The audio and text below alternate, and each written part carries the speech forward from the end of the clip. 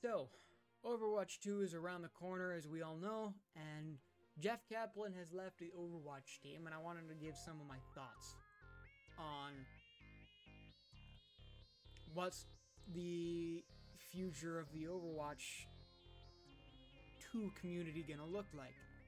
Um, probably not the community, but just like the game, and, and like where is Activision gonna take um, Overwatch? Because you know that they're they're the big mans with the big hands now. Um, with their sausages all stuck up in the Overwatch development. Um, here's what I think is going to happen.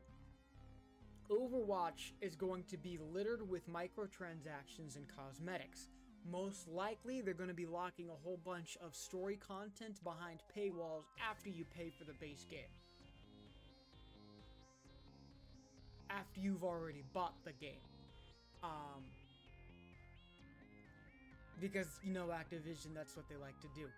Um, there's definitely going to be a season pass now.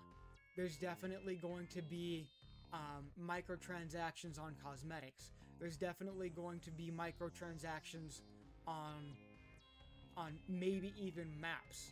Um, However, if we were even to go even further, they might even put microtransactions, making it so that you have to unlock certain characters, or can't play certain characters until you've grinded for them or paid for them.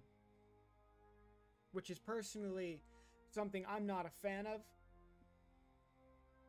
Like, yes, probably put microtransactions to a certain extent in your game. Yes, probably put a season pass in there.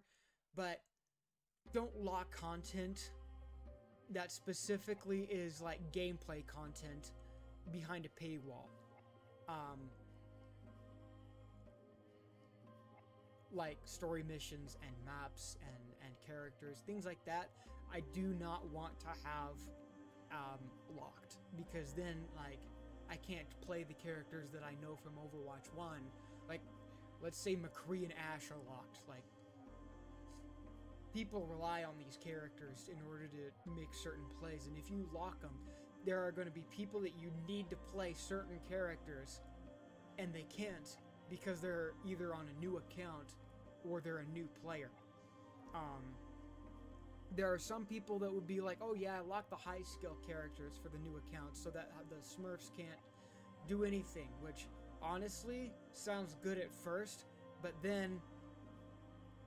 Mm, it makes other things difficult. It, it, it makes other things upsetting and bad.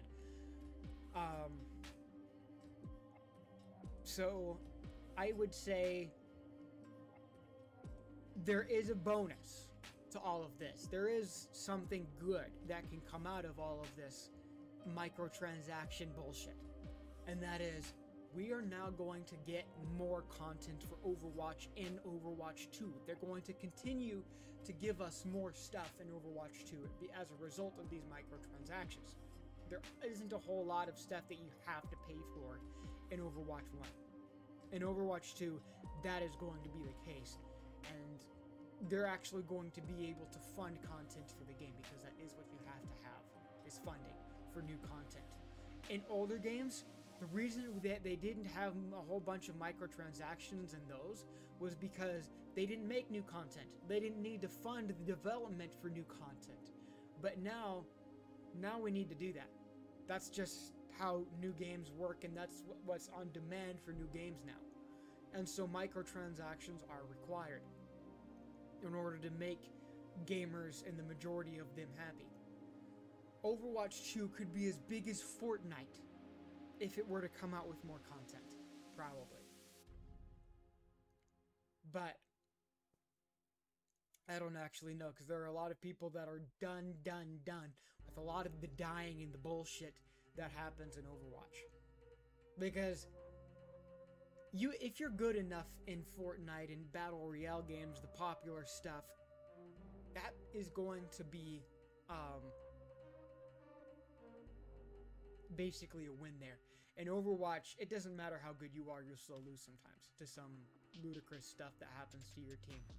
And I'm only in silver right now, and I acknowledge this. Um, a lot of players don't.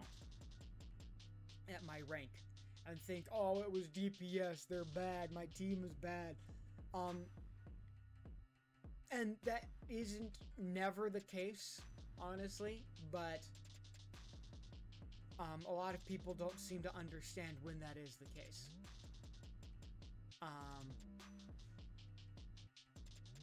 from when the enemy McCree or, or, or uh, Widowmaker or Pharah is just killing our team and we can't deal with her. And let's say um, somebody, doesn't matter who, is like complaining about something teammates do damage dealers probably usually get the backhand. Pharah's bad McCree's killing us all. You suck. Just all of this this backlash towards the damage players um that get a lot of heat. And as a result since like damage players are like the majority of the players that are in the game which is why it takes so long to queue for damage they damage isn't fun as a result. There's so much stuff that doesn't like you. Your team doesn't like you. The enemy team, of course, isn't going to like you if you're doing well. I mean, that's a good thing. But then you have to sit there and wait for queue times to log into a game that is ridiculous. There's not a whole lot I think Overwatch 2 can do about that, except for balance the amount of um, characters that are in every role. I feel like that's what needs to be done. Um, because there's this much damage dealers, and then there's this much tanks and healers. There's like, there, there's not very many. Um, and I feel like that's that's part of another problem that makes Overwatch just kind of like not fun for a lot of people. Um, Overwatch is in that state of League of Legends where I feel like it would be okay to pay for like a cosmetics pack, not for like a whole skin because we know we're gonna have to customize or not have to, but get to. We're gonna get to customize our skins as my current knowledge is been sourced up and put into awareness. Um, but that could change tomorrow. That information could, th- that decision could could change in the future because the game's still in development. They haven't made final decisions on everything yet, but they've let us know what they want to do, and Activision is pulling the strings. Most likely, as a result, they're going to release the game broken and bugged. Um, but it is a competitive sport. It's not single player. Single player games, when you had Cyberpunk 2077 come out, when that game was a mess at launch, people picked up that game, finished it while it was still buggy, and moved on and CD Projekt Red is still trying to fix it and put it together and make it work. But unfortunately, people are already done with Cyberpunk. The, the, the trend is over. So, Activision, they, they tend to still be pretty smart with their release of games. Um, they don't hype it up too much. It's like, here's our new Call of Duty game, here you go. Uh, it's got a whole bunch of microtransactions in it. Yeah, there's a whole bunch of other stuff. Um, but they make the microtransactions kind of pricey, and that's that's a problem. I feel like you have there's way too much stuff that you have to pay for. Um, and yes, that constantly funds new content, but that's a problem for me personally. So anyway, that's those are my thoughts on Overwatch 2, the Electric Boogaloo. Um, I'm I'm finished. So later.